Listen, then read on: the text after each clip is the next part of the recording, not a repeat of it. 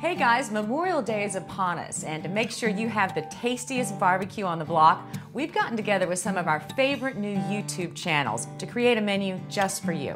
If you don't know these channels yet, you should. I encourage you to check them out and subscribe. I think you'll enjoy them just as much as you do everyday health. You know, no barbecue is complete without a great burger, but if you're looking for an alternative to those belt busting burgers made of regular ground beef, I have an alternative my Skinny and Smart Bison Burger. You know, compared to regular ground beef, bison is so much more lean. You can actually just tell by looking. There's much less fat. There's also less cholesterol and fewer calories. And to lower the calorie count even further, we're gonna add in some other tasty ingredients. You know, normally I don't put onions in the food processor for most recipes because they release too much liquid. But in this recipe, you're gonna end up sauteing the mushrooms without any added oil. So having a little liquid is not a bad thing. After your pan heats up a, just a couple of seconds, you're gonna give it a little spray with cooking oil. You can use canola oil or olive oil and let it heat up just a little bit before you scoop your onions in there. And again, a little bit wet, but that's all right. Now, here's why mushrooms are magic if you're trying to lose weight. They have that umami quality. And research has found that people who substituted mushrooms for part of the meat in their diet lost more weight without feeling any less satisfied. I use a mixture of brown mushrooms and shiitakes. You know, mushrooms have almost no calories, so they make a great filler for meat dishes, no matter what type of dish it is. The chewy texture, I think, of the shiitake mushrooms really add a meat-like quality. Once your mushrooms and onions have cooked down a bit, you're just gonna add in a couple of teaspoons of Worcestershire sauce. So once your onions and mushrooms have cooled a little bit, you're just gonna mix it in with your bison. You know, because bison is so lean, adding in these mushrooms and these onions is gonna help it stay moist once you cook it.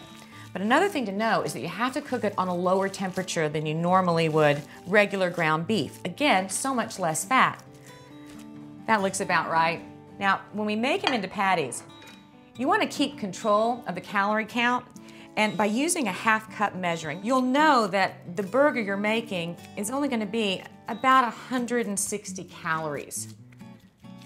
Plus, a half cup makes a perfect size patty. You can do a lot of this ahead of time, which means you'll be able to have a cocktail with your guests and enjoy the party yourself. All right, these guys are ready to go. Love that sizzling sound. You know, you can tell just by looking at these burgers that they're better for your body. I mean, all of those vegetables are much easier for your body to process than a big hunk of meat alone. And while these things are cooking, I am going to chop up some fixings for our burgers. You can add Persian cucumbers. Just cut them on a diagonal. And add some spice. Maybe a little jalapeno pepper for people who like it hot. Even though there's onions in the burger, you might want to add more onions in that are raw. And of course, when tomatoes are fresh and in season, you want to add those. See how they're doing. Start with one. Oh, perfect. You want to get those nice grill marks. And I have to tell you about bison burger taste. It's a little sweeter and a little bit richer than regular ground beef. I always say it tastes like the kind of meat that I used to have when I was a kid growing up in Texas, or the kind of meat that I imagine my Texas grandmother eating when they got it straight from the farm. Back then, cows actually ate grass and hay instead of being fed corn. Well, I think the burgers are about done. It's time to get ready for this party.